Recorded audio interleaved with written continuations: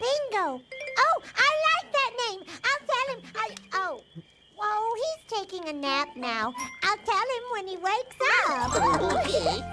So, what kind of things are we doing around the campfire? Well, we started off by singing a couple of songs. BJ, why don't you choose what we're going to do next? All right.